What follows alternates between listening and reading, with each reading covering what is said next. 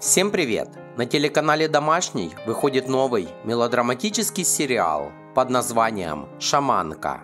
Идеальная жизнь Насти рушится от целой череды роковых обстоятельств. Проблема со здоровьем, отмена свадьбы по инициативе жениха, банкротство ее маленького цветочного магазина. У Насти опускаются руки.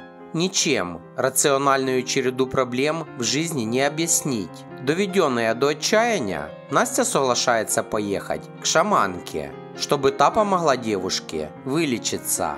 Приехав в деревню, Настя встречает мужчину, которого, как она кажется, видела во сне. Выясняется, что Петр – тот самый активист, из-за которого может сорваться ее крупный проект по строительству нового ЖК.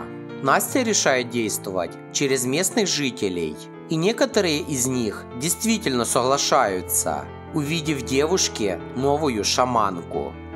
Премьера четырехсерийного сериала «Шаманка» состоится 29 февраля на телеканале «Домашний».